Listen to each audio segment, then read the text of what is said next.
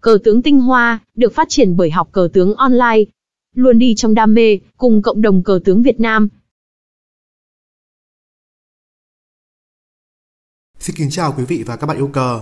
Trong video của buổi tối hôm nay, kênh Cờ tướng Tinh Hoa sẽ gửi tới các bạn phần bài bản về một trận đánh hay đánh tại giải cờ tướng các bên tái mùa giải năm 2019 giữa Trương Bân cầm bên đỏ đi tiên và chiến thần Vương Thiết cầm bên đen. Xin kính mời các bạn cùng đón xem.